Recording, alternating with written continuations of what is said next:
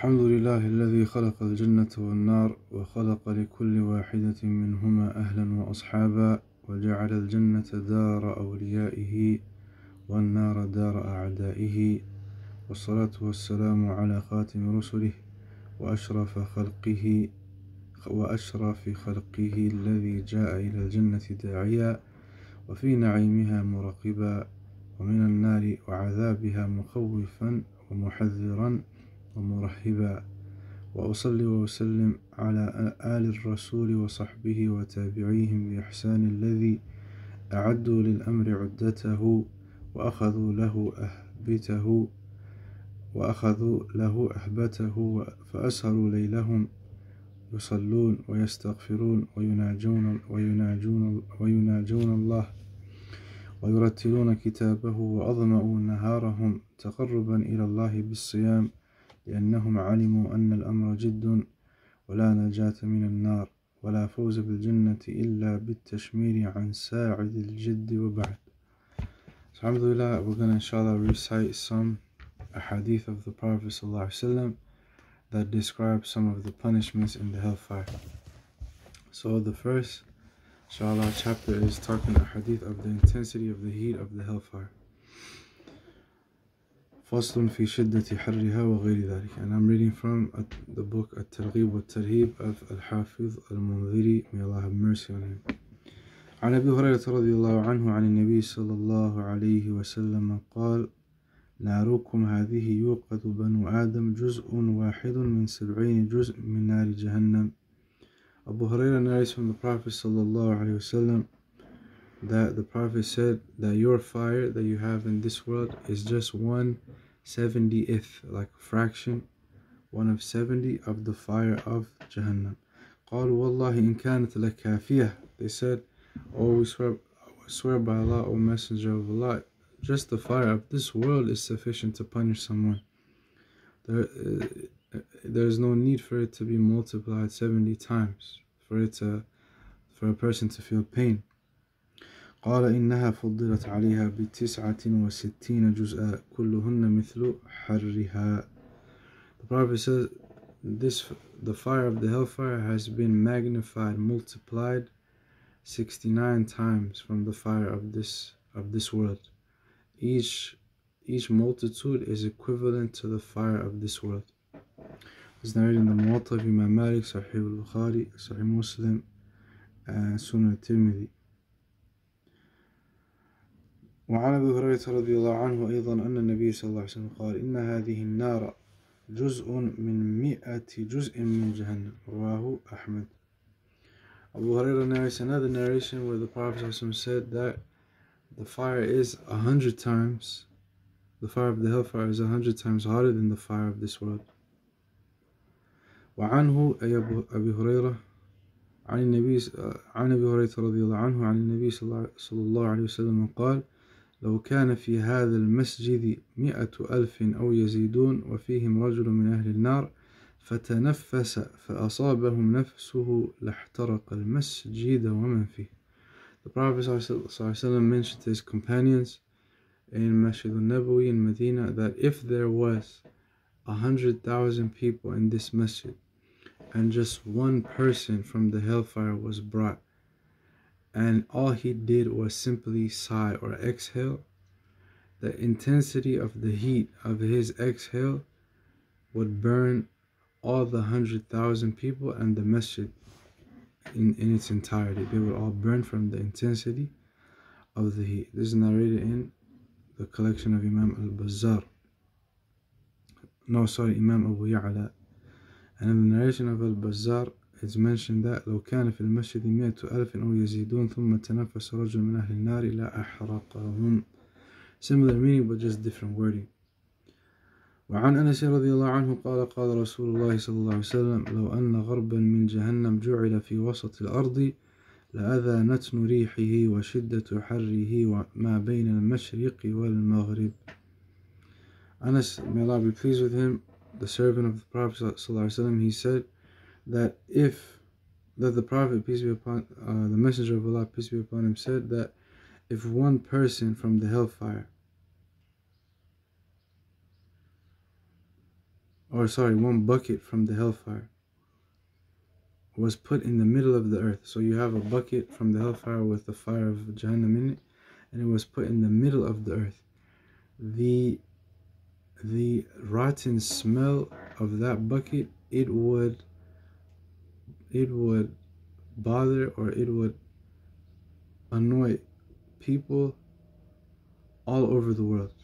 If that from the east to the west. ولو أن الشررة من شرر جهنم بالمشرق لوجد حرها من المغرب and if there was just one flame or spark of the hellfire in the east of the world the intensity of the heat would be felt in the west لا إله and that's narrated by Imam al-Tabrani in his collection al-Awsat وعن أبي هريرة رضي الله عنه عن النبي صلى الله عليه وسلم قال Abu Hurairah narrates from the Prophet peace be upon him that he said the Prophet said لما خلق الله الجنة والنار أرسل جبريل إلى الجنة When Allah created Jannah, when Allah created heaven, as we started this series, we mentioned the author, Dr. Umar Sulaiman al-Ashqar, may Allah have mercy on him. He talked about how that um, the correct belief of Ahl Sunnah is that Jannah and and Nar, heaven and hell, have already been created. Like before Allah created other creations, He already created them. But at that time, Jibril alayhi salam was already created. So when Allah created Jannah, He sent Jibril to it to basically survey it. And Allah already knows everything in Jannah, but this is out of honor for Jibril. And as we will see in the end of this hadith, it is a blessing for the later you know, umam to come in this world so that they can le- learn a lesson from Jibril's experience. فقال انظر إليها وإلى ما عددت لأهلها فيها So Allah told Jibril, go look at it and see what I have prepared for the inhabitants of Jannah in it. قال فجاء فنظر إليها وإلى ما أعد الله لأهلها فيها So Jibril went to it, he looked at what was in it and what Allah had prepared for its inhabitants and he said قال فرجع إليها فقال وعزتك لا يسمع بها أحد إلا دخلها that Jibril said oh Allah I swear by your honor that no one will hear about this amazing and beautiful place except they will enter it they will work towards entering it فأمر بها فحفت بالمكاره so then Allah subhanahu wa ta'ala out of his wisdom he commanded Jannah and it was then surrounded by desires by desires or or diff- sorry it was surrounded by difficulties it was surrounded by difficulties فقال ارجع إليها فانظر إلى ما أعددت لأهلها فيها so Jibril then said go back and look at it again after Allah encircled or surrounded the the uh, Jannah with difficulties قال فرجع إليها فإذا هي قد حفت بالمكاره فرجع إليه فقال وعزتك لقد خفت أن لا يدخلها أحد So when Jibril went back and he saw the difficulties surrounded around Jannah, he said, Oh Allah, I'm afraid that nobody will enter this place because it takes a lot of hard work. It is going against our ego, going against peer pressure, uh, going against, be it of shayateen, al-insi wal-jinn, So this was Jibril's statement. قال اذهب إلى النار فانظر إليها وإلى ما عددت لأهلها فيها. قال فنظر إليها فإذا هي يركب بعضها بعضا.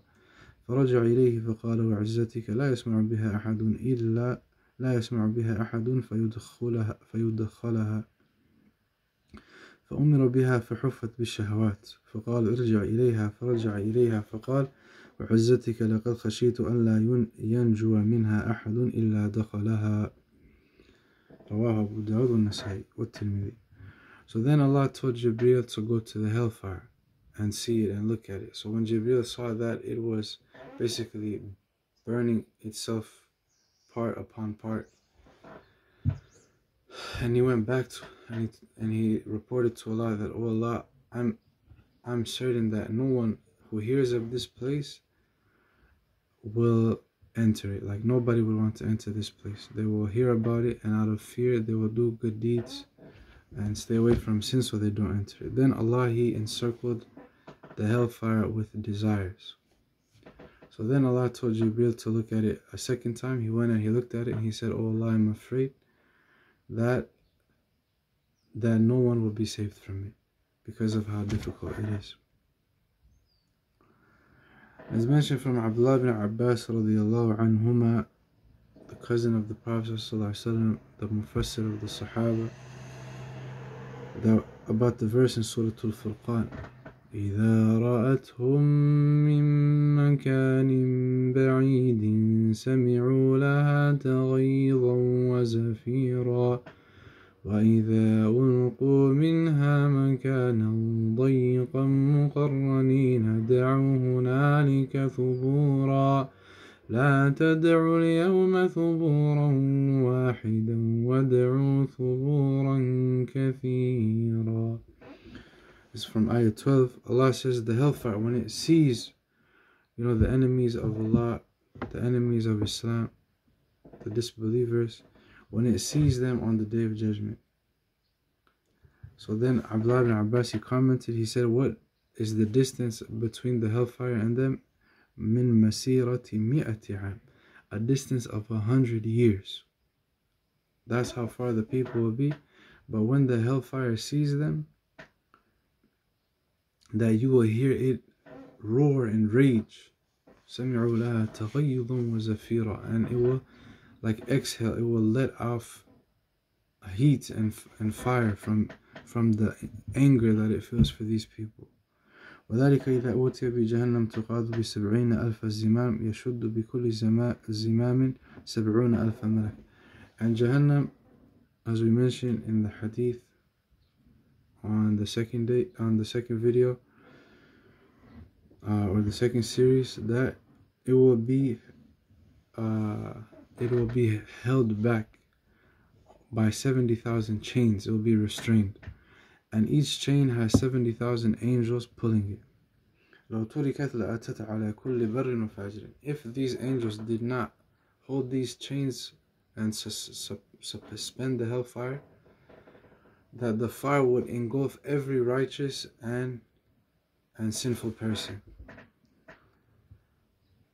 and then as for the the exhaling of the hellfire تزفر زفرة ولا تبقى قطرة من دمع إلا نظرت that this exhale it will force the people on the plains of the day of judgment except that it will uh, they will shed tears they will hold no tears back ثم تزفر الثانية فتقطع القلوب فتقطع القلوب من أماكنها تقطع اللهوات والحناجر وهي قوله بلغت الحناجر وبلغت القلوب الحناجر and then the second exhale of the hellfire it will cause the people to have their hearts basically racing as an expression i mean the heart physically remains in one place but it will be beating out of their chest it will be beating out of their chest and reaching up to their throats so that's for the heat of the hellfire. The next chapter, inshallah, we will cover is about the the uh, chains, the chains of the hellfire. So imagine people are already being burned, and on top of that, they are chained. They have nowhere that they can go. وعن يعلى ابن منية رفع رفع الحديث إلى النبي صلى الله عليه وسلم قال ينشئ الله سحابة سوداء مظلمة فيقال يا أهل النار أي شيء تطلبون So this is a hadith that is attributed to the Prophet sallallahu alaihi wasallam from Ya'la ibn Munya. May Allah be pleased with him. That he said the Prophet said that Allah subhanahu wa ta'ala will cause a cloud, a black dark cloud to cover the people of the hellfire. And then it will ask, Allah will ask them, O people of the hellfire, or it will be said to the people of the hellfire, as Allah will not talk to them. This is another punishment of the people of the hellfire. They will not be able to converse and dialogue with Allah. كلا إنهم عن ربهم يومئذ لمحجوبون ثم إنهم لصاروا الجحيم as Allah said in Surah Nazi'at. So anyway, they will be asked, what do you desire? So they فيذكرون بها سحابة الدنيا فيقولون يا ربنا شرابا that they will remember the clouds of rain of this world. So they will say, O our Lord, we want some water to drink. فتمطرهم أغلالا تزيد في أغلالهم وسلاسل تزيد في سلاسلهم وجمر يلتهب عليهم لا إله uh, Imam Tabrani narrates this and is also narrated as a hadith mawquf. Hadith mawquf is it is not the word of the Prophet, it's the word of a companion. So anyway, instead of the water raining on these people of the hellfire that they asked for, it will rain upon them chains and uh, chains upon chains and locks upon locks and it will increase them in their chains and their locks. They're already locked in, but Allah will increase them in their chains and their locks. And um, charcoals or coals that will burn them and fall upon them.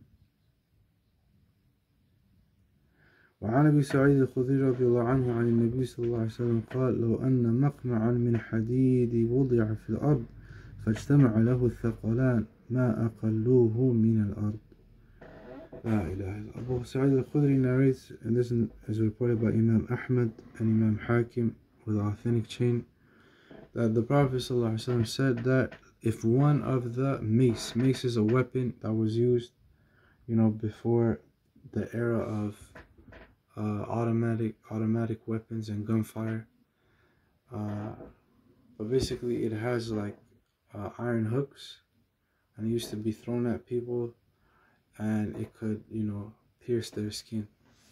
So if one of the maces of of iron of the of the hellfire was put in this earth and all of the humans and the jinn assembled to pick it up they could not lift it that's how heavy it is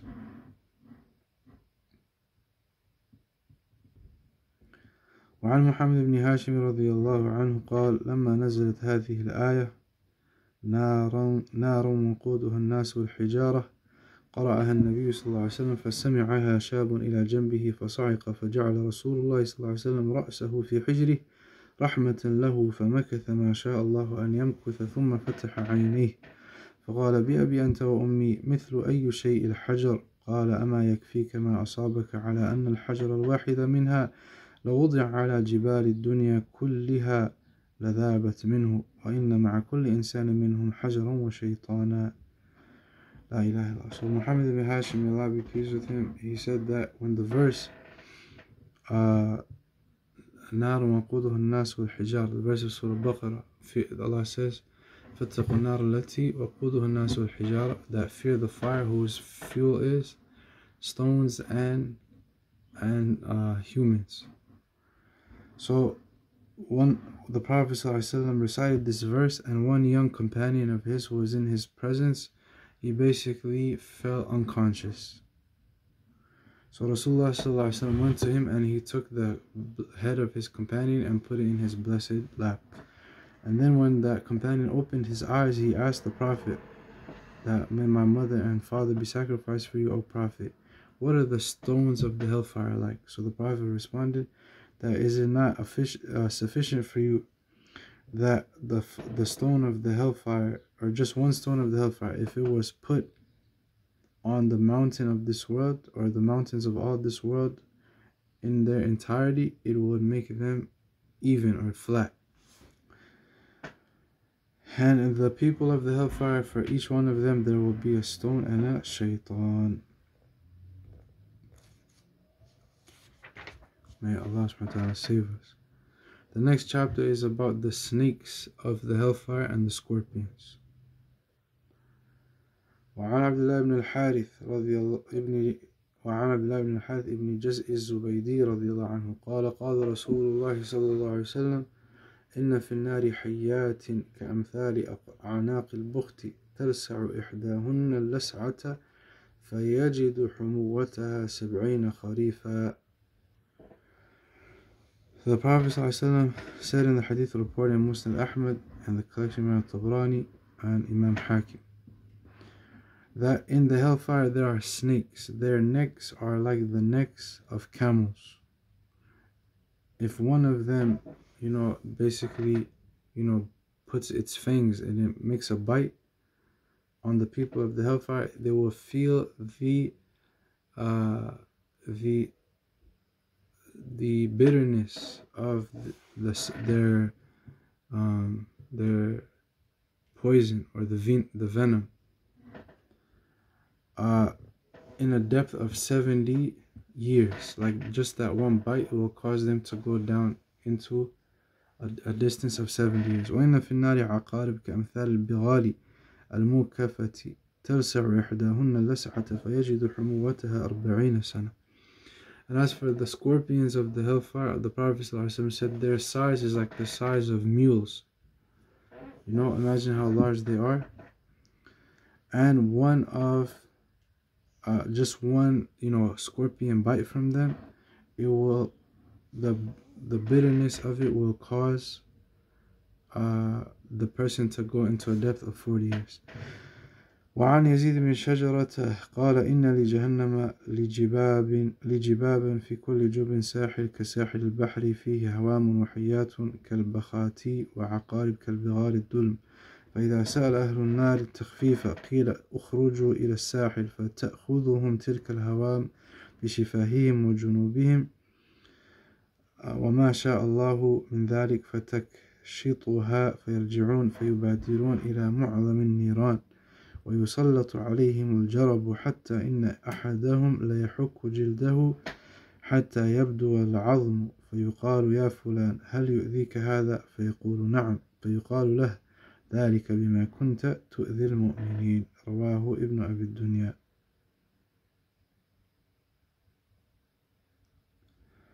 So Imam uh, Al-Hafidh ibn Hajar rahimahullah he mentions the person who narrates this is disputed whether he a companion or a tabi'i. So we will not say it is attributed.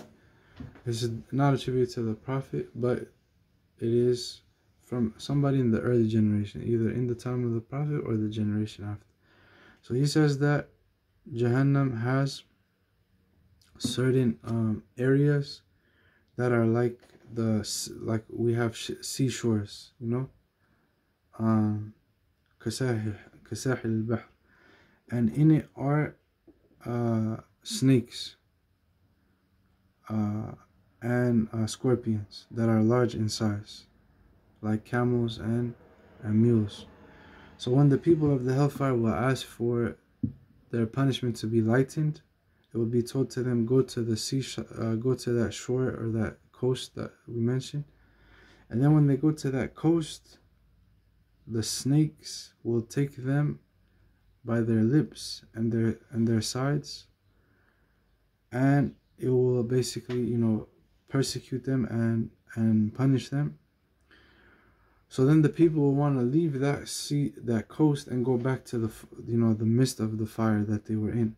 And then when they go back to the midst of the fire, there will be the scorpions that will basically bite and scratch their skin until there will only be bone left. There is no skin left, or until the bone becomes uh, apparent. So then that person will be asked, Oh, so and so, does this bother you? Do you feel this pain? So he will say, Yes. So they will be told that is the punishment you get for have persecuted the believers in the world life. The next chapter is the drink of the people of the hellfire. The drink of the people of the hellfire. وعن أبي هريرة رضي الله عنه عن النبي صلى الله عليه وسلم قال إن الحميم ليصب على رؤوسهم فينفض الحميم حتى يخلص إلى جوفه فيسلت ما في جوفه حتى يمرق من قدميه وهو الصهر ثم يعاد كما كان Narrated by Imam al-Tirmidhi and the Bayhaqi, the Abu Hurairah reports from the Prophet ﷺ said that that the hamim, the boiling, scalding hot water of the hellfire. It's so hot, it's almost at the level of becoming vapor. It will be poured on the heads of the people of the hellfire, and it will basically melt everything in, in the entire interior of their body until that um, everything will come out from the feet of that person. And this is, uh, the Prophet explained, the punishment of Sahr Allah described in his book. That uh, uh, هذان خص في الحميم هذان خصمان اختصموا في ربهم فالذين كفروا قطعت لهم ثياب من نار يصب من فوق رؤوسهم الحميم يصهر به ما في بطونهم والجلود وعن أبي أمامة رضي الله عنه عن النبي صلى الله عليه وسلم في قوله تعالى ويسقى من ماء صديد يتجرعه. قال يقرب إلى فيه فيكرهه فإذا أدني منه شوى وجهه ووقعت فروة رأسه. فإذا شربه قطع أمعاء حتى حتى يخرج من دبره Abu Umam narrates from the Prophet ﷺ, this is narrated by Imam Ahmad al-Tirmidhi and Hakim, that the Prophet ﷺ said of this, the verse of the Quran, Surah Ibrahim, verse 16 and 17, uh, that those the people of the hellfire that um, they will be given uh, some drink called sadid. Sadid, as explained in other narrations, is like a combination of all of the discharges of the body, you know, pus and, and these these kind of things. So it'll be brought in a liquid form in front of them. So when it, that person brings the vessel of this drink to their their mouth, they will dislike drinking it. But but when it gets close to their face, it will melt their entire face until you know their entire face falls off. فإذا شربه قطع أمعاءه and then after that he will drink it حتى يخرج من دبره فقطع معه حتى يخرج من دبره when he drinks this drink صديد it will melt his intestines and then he will basically defecate or excrete his intestines out of it, the back of his body لا إله Allah subhanahu wa ta'ala said وَسُقُوا مَاءً حَمِيمًا فَقَطَعَ مَعَهُمْ وَيَقُولُ وَإِنْ يَسْتَغِيثُوا يُغَاثُوا بِمَاءٍ كَالْمُهْلِ يشوي الوجوه وعن ابي سعيد رضي الله عنه عن النبي صلى الله عليه وسلم قال لو أن دلوا من الغساق يهراق في الدنيا لأنتن أهل الدنيا Abu Sa'id narrates Abu Sa'id al-Khudri may Allah be pleased with him narrates from the Prophet peace be upon him that he said that if one bucket of ghasaq ghasaq is also another punishment that the people of the hellfire will have to drink it is a combination of different bodily discharge. So if it were poured on this world, it would make the entire people of the world bothered and you know discomfort by the rotten smell of this of this drink. May Allah subhanahu wa ta'ala save us.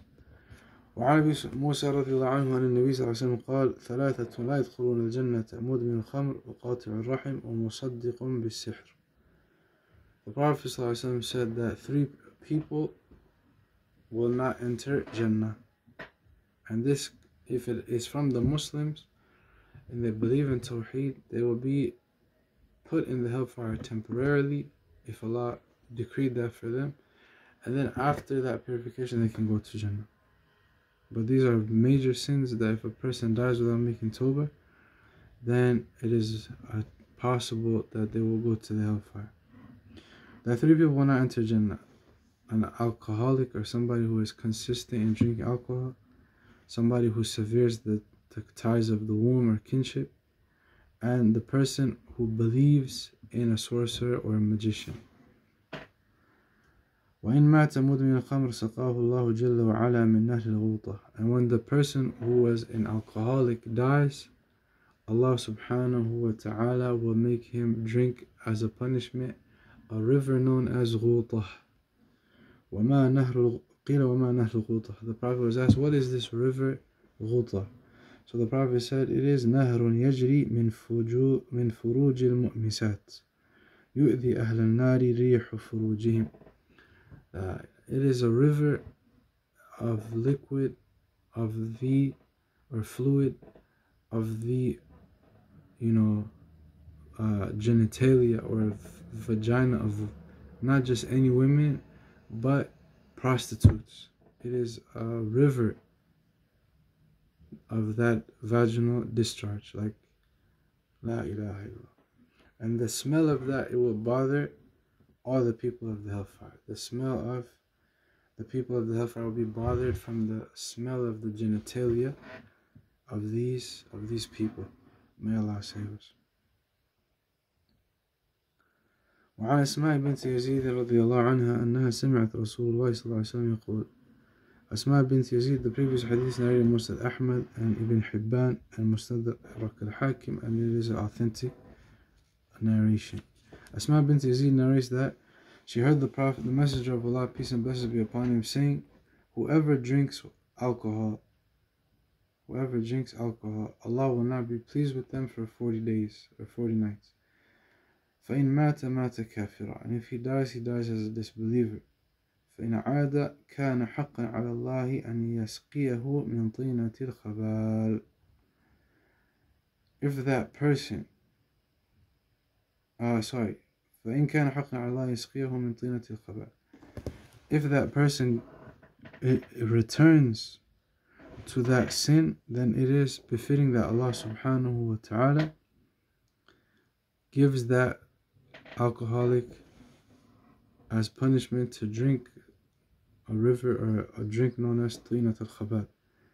قيل يا رسول الله وما طينة The Prophet asked what is this? He said صديد أهل النار He said it is the the discharge of the pus of the people of the hellfire La ilaha illallah.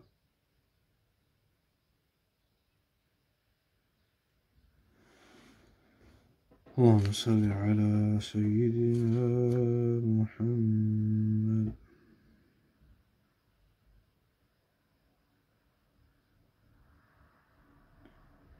So there's another narration later it mentions that من فارق الدنيا وهو سكران دخل القبر سكران Whoever leaves this world drunk, he will enter his grave drunk. وبعث من قبره سكران And he will be resurrected from his grave drunk.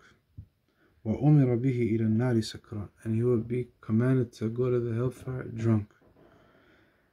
إلى جبل يقال له سكران And in the hellfire there is a mountain known as Sakran or intoxicated. intoxicated.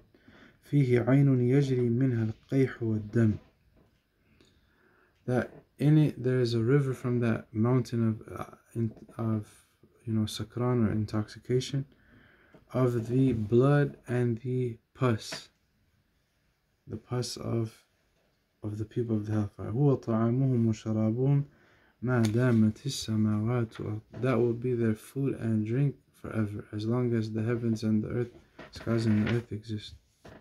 The next chapter is the food of the people of the hellfire. وعن ابن